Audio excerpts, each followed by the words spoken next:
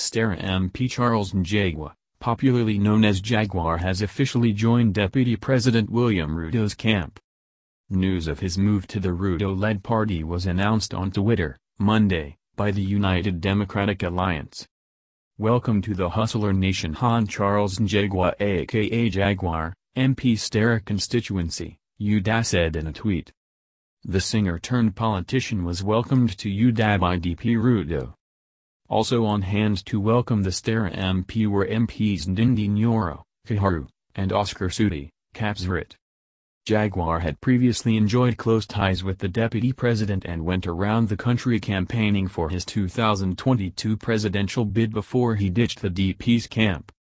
He has not been seen around Ruto or MPs allied to him in months.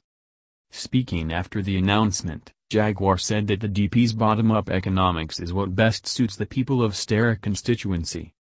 A time has come and decisions have to be made, the welfare of the people has to be considered.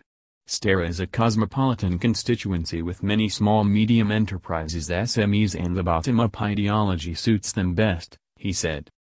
Due to this, I feel that working with the deputy president and his party as he runs for his presidential bid and as he works towards implementing his policies is the best option for my people of Starehe. The MP thanked President Uhuru Kenyatta for the good working relationship they have had since 2017.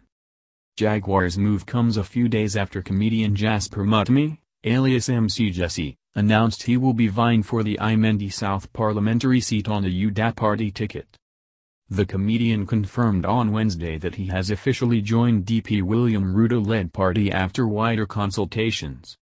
It's now clear where the vision is heading.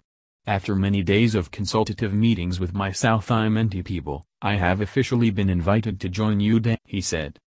The Starehe MP's move is a plus for the DP after teaming up with the Amani National Congress Party on Sunday.